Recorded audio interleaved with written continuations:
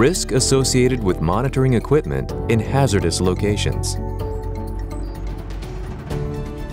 Burden on human-dependent manual operation. Costs that accumulate with each maintenance action. The first step toward a solution starts here.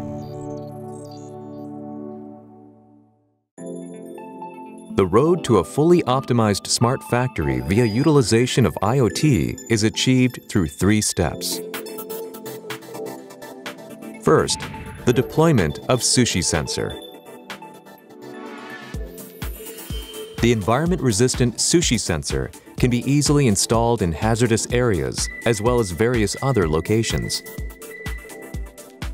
Long-range wireless communication facilitates collection of data for equipment dispersed throughout large plants and factories.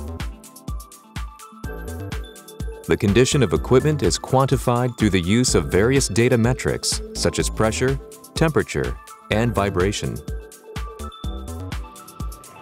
The collected data are stored in the cloud or an on-premise server.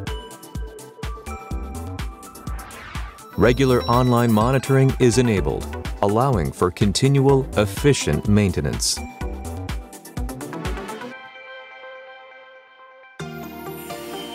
By deploying the sushi sensor, various merits can be gained.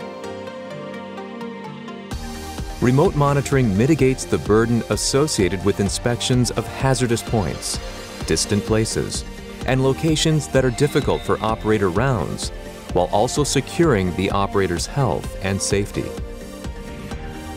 Condition of equipment is quantified, while experience and intuition of individual operators are shared. Utilization of data reduces potential variances in inspection quality. Long-term remote trend monitoring enables efficient maintenance operations while significantly cutting down on daily inspection man-hours.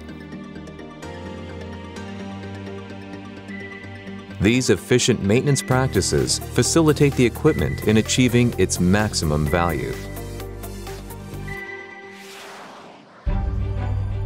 In a world with the rapidly emerging IoT industrial field, the first step toward efficient maintenance and improved plant productivity starts from Sushi Sensor.